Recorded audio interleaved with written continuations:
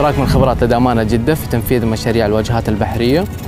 آه، أعطانا القدرة على العمل مع التحديات الموجودة بالمشروع ومعرفة احتياج زائري ومستخدمي المشروع مستقبلا والقدرة على خلق الفرص وتحقيق مفهوم الاستدامة بالمشروع. وذلك مثلا على سبيل المثال آه، من خلال المواد المستخدمة في عناصر المشروع وبالإضافة لإنشاء مبنى للمراقبة والتحكم طبعا هي تراكم الخبرات السابقة في في في في عمل الواجهات البحرية وفي تصاميم الواجهات البحرية.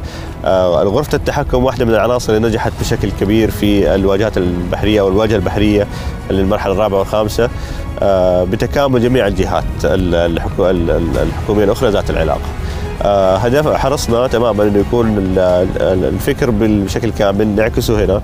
آه، بس بشكل أيضا أخذنا في الاعتبار جميع التحديات اللي واجهتنا هناك. آه، عملنا التصاميم بحيث تتناسب بشكل أكبر وأكثر للمناطق البحرية أو مناطق الواجهات البحرية من ناحية موقع آه، لاستقبال الأطفال الضايعين آه، لموقع للإسعافات الأولية لكاميرات المراقبة وغيرها.